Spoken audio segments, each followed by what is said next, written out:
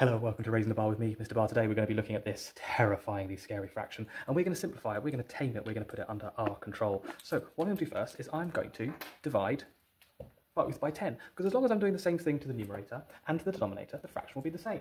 I'm going to divide by 10 both of these and that will give me 24 over 36.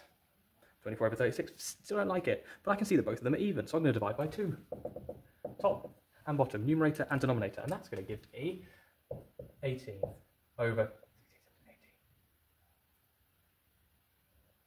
12, silly me, over 18.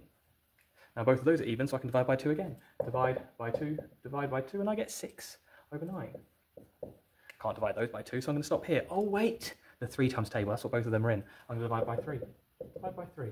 6 divided by 3 is 2, and 9 divided by 3 is 3. I can't divide 2 and 3 by anything else. Good clue is that one or both of them are prime, both simplified as much as it can be. One of them probably close. So that is it simplified. Probably could have those smart among you divided it by a bigger number, but this way's foolproof. Take it easy, little chunks at a time. Simply simplify. Believe. Bye bye. Peace out.